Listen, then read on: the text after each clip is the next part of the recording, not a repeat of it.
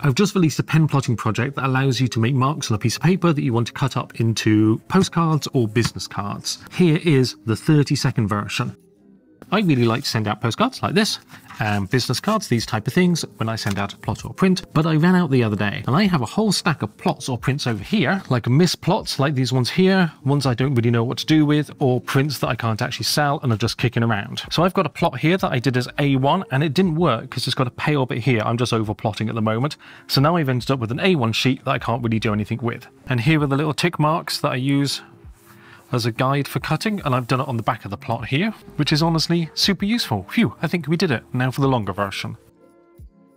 Let's take a slightly more relaxed approach. I'll go through everything. I'll show you how to use the tool later and have all the links below so you can get to it. So let's talk about plots and prints over here. As I said before, I've got these stacks of plots and prints to sort out here, so many of them, and they get sorted into sell, send to friends, turn into postcards or business cards or just recycle because I can't do anything with them. So with things like this, I don't want to sell it, I don't want to send it to a friend. It started messing up here, but there's still all of this here I think I can do something with. Things like this, the border is too narrow, so that's a good one for business cards. And this was an experiment. It doesn't really work as a piece, but again, I think cut up into small cards, this would be quite good. While over here, I've got some prints that I can't actually sell because they're made from NFTs that I don't actually own. Cutting those up into business cards or postcards would be good.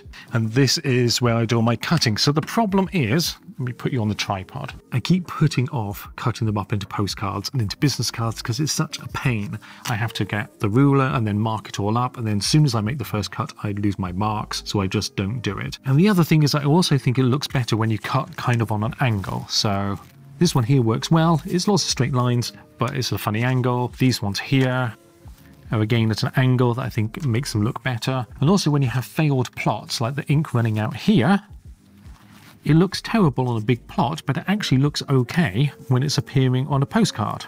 Again, and then the other day I ran out of both business cards and postcards. I'm like, I'm to have to bite the bullet and do it now. And I was like, well, why don't I just write a bit of code that makes the marks for me, which is what we have over here.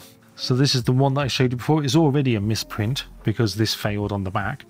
And then I've put these little X's here, which makes it easy to cut. And the actual design of this one, which we've seen before, although I've overprinted it now, overplotted it, is it faded here so I can't do anything with it. And then I'm stuck with this. What do I do with this whole sheet? Well, the last problem I have is these A1 sheets are too big for my cutting board to do safely in one go. But now because I have these marks, I can easily cut just half of it first and then go round and do the other half without any problems.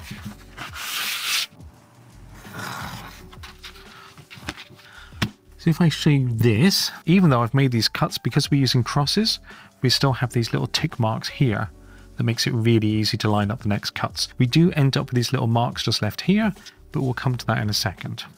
Let's go have a look at how we use the software. It's really easy. So I decided to put this on FX Hash just because it's convenient and I'll show you the interface here. It'll look slightly different to what I'm showing you because this is a local version up on FX Hash. These controls look slightly different. So let's go through them. It's very simple.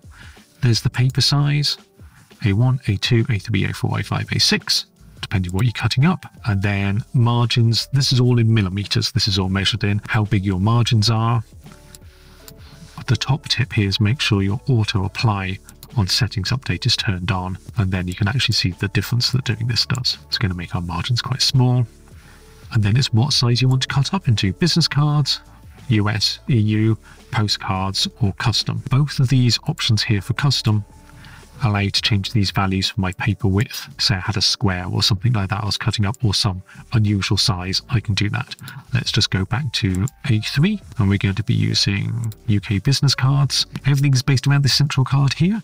So because my designs are often quite geometric and have verticals and horizontals, I like to cut the cards a little bit off so you don't get quite as many out. But if I rotate this to about let's say 13 or something like that. Yeah, that looks quite good. I can probably squeeze another couple of cards in there if I reduce that margin just down a little bit.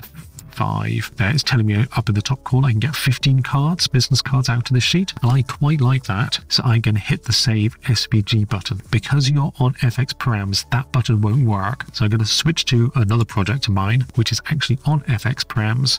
And you see this little open a new window button down there? If you click that, it'll open the whole thing in a new tab. So we go back to FX Lens. Down here will be that open a new window. You click that, and once you've clicked that, this Save SVG button then works. Clicking this button will give you two files.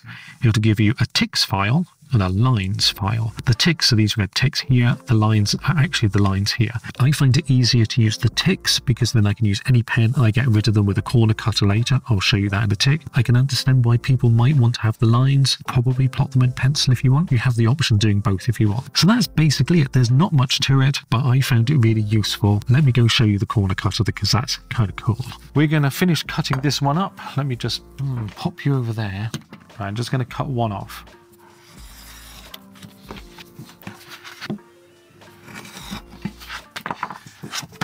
Now we have our card, that's pretty alright. I quite like if something hasn't worked is then put other plots over the top of it. It adds something else to it. But we've still got these marks in the corner. I'm not sure if you can see that or make that out. But just there. But I have this thing which is called a corner cutter. And you just get these off Amazon. I don't have a recommendation, but this one comes with small, medium or large. Now for the magic bit. Pop that in there.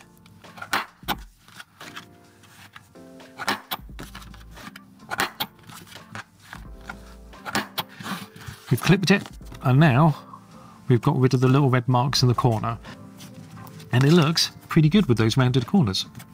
And there we have it nice and quick, of a simple tool to solve a very specific problem that I have. Other people might find it useful. I really like these. The 80s pop uh, business cards looking really good. I have a Riso print that I send out to people that I have a little embosser for and I've messed that up a few times, but I think these make really great business cards and then other various pen plots. I think they look really good. Postcards too. Anyway, there we go. The tool is linked below. Hope you found this useful. Get yourself a corner cutter. They're awesome. And uh, then make yourself some lovely business cards. I will see you in the next video.